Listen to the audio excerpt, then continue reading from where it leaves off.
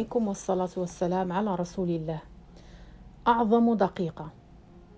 أعظم دقيقة عندما تعلم أن قراءة سورة الإخلاص مرة واحدة تعدل ثلث القرآن الكريم فتقرأها في أقل من دقيقة واحدة. أعظم دقيقة عندما تعلم أن من قرأ الآيتين الأخيرتين من سورة البقرة في ليلة كفتاه فتقرأهما في وقت يستغرق دقيقة واحدة.